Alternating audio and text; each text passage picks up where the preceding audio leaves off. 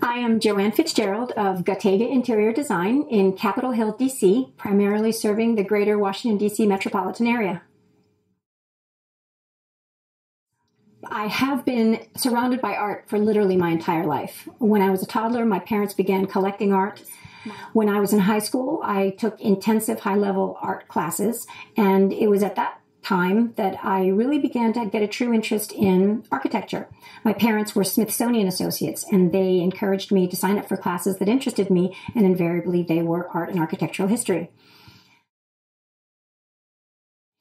Because of my very technical foundation in engineering and architecture, I approach projects from far more than just a decorating perspective. I have a deep knowledge and understanding of systems, structures, uh, space planning. So working alongside builders and architects, I speak their language and I can advocate for the client who is frequently left in the dark with regards to how things work, why we make the decisions that we do as building professionals. I sincerely believe that the design process is a collaborative effort. At the start of every project, I try to ask my my clients lots and lots of questions about who they are, how they live, what they want their design space to achieve for themselves, so that we can make good decisions together as a team.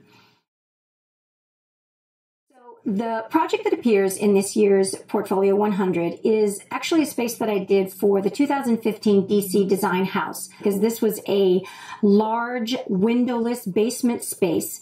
I ended up being so pleased with the result because I was able to conjure a conversation area on the one side using spectacular fixtures and finishes. And then I was able to pair with this bar more delicate lighting, art, colors, materials, finishes that perfectly balanced that space and brought the whole room to a cohesive whole. Whenever I'm interviewing with potential clients, I always encourage them to listen to their gut and ask themselves of their potential designers, do you like them? Are you going to be able to really get along with them? Because the designer client relationship really ends up being such a personal one. Will that designer um, be able to articulate for you your personality, how you like to live?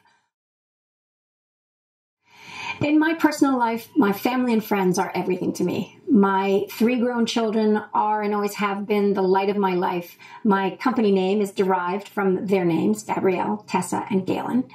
My husband and I enjoy entertaining. We enjoy quiet moments at home. We enjoy traveling near and far. But ultimately, our happiest moments are when we are at home enjoying family and friends.